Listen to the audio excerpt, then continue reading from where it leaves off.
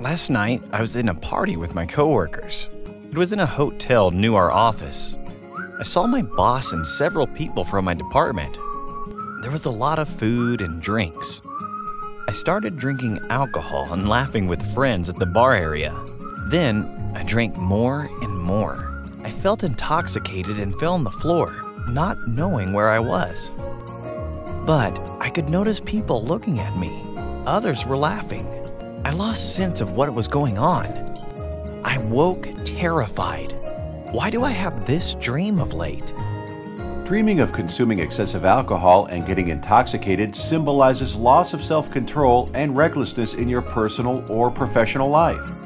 Do you engage in irresponsible and careless behavior in your waking life?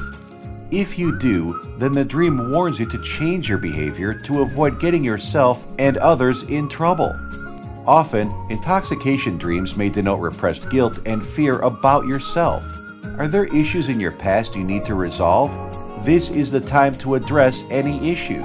Given that you were drinking at your company's event, it may signify loss of control at work or that you are consumed by and overstretched at work. This may be an opportunity for you to take stock and make changes to achieve work life balance. However, the dream may reflect your actual struggle with alcoholism and the emotions associated with going through treatment.